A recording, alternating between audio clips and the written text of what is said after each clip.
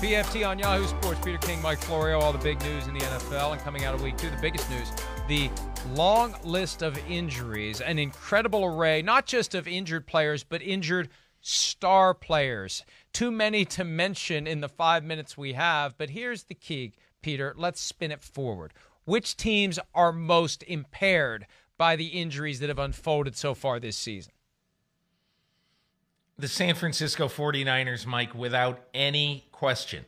As we sit here after two weeks of the season, I would argue that eight of their 10 most important players, I'm not saying best players, whatever, but I would say eight of their 10 most important players have are either out for the year or have something that could keep them out of this week's game in the Meadowlands on their favorite turf against the New York Giants. And and I mean, if you look at it, Mike, let's just say you want to take out Arik Armstead and Mike McGlinchey. Let's just say.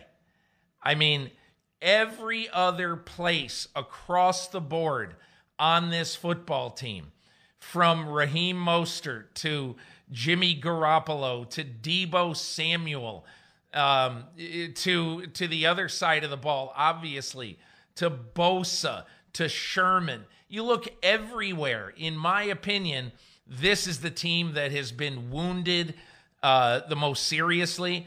And and again, Mike, we might be looking at the best division in recent years in the NFL, top to bottom. And there is no guarantee whatsoever. If the team we thought had a good chance to be number four in the division goes to number one in the division, the 49ers, in week one and beats them, there's no guaranteed wins for the 49ers, even if they're healthy, you know, for the whole year. And so that's why I think the 49ers are the team most grievously affected by the injury bug. The best news for the 49ers for the NFC West this year, they take the tour of the NFC East and the AFC East, which actually raises the possibility of all four NFC West teams making it to the playoffs, which would be nuts. But with a third wildcard spot, it's possible. The one injury that I think limits their chance to get back to the Super Bowl, I'm not going to write them off from a playoff berth yet, but the Nick Bosa absence, there's no one yep. to replace him. There, you're not going to bring in a pass rusher of Nick Bosa's quality. Sorry, Ziggy Ansah. There's a reason he was available in late September. Nick Bosa was the difference maker last year, and without him, it's going to expose a lot of stuff on the back end that was covered up last year by that fierce pass rush. So it's going to be harder for the defense, which makes it harder for the offense. But I still think they're going to be okay. They're just not going to be as great as they were last year. Also, look at the Broncos. To have Drew Lock out for several weeks and Courtland Sutton out for the year, that hurts a team that looked to have an offense that was ready to explode. And now we have to ask the question can Drew Lock stay durable? He had a wrist injury last year that limited him to five games. Now he's got the shoulder injury. You've got to find a way to avoid contact. And if you take the hit, you've got to find a way to keep going. Two injuries in two years, not a good sign for Drew Lock.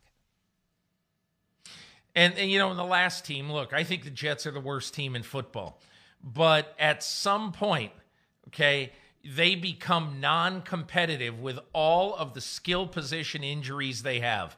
You know, Le'Veon Bell hadn't been great for them, but their the injuries to their receiver group, it's it's deadly. And so that really limits you getting an answer on Sam Darnold and beginning to raise the specter of Trevor Lawrence with the Jets if the Jets indeed have the first pick in the draft. It's unfair, but it will raise that specter.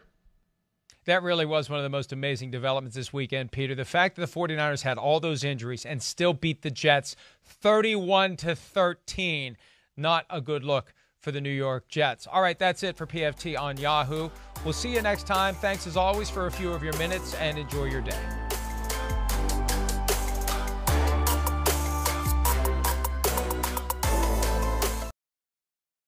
Hi, I'm Mike Tirico, and thanks for watching. Make sure to hit subscribe for the latest news and highlights from NBC Sports.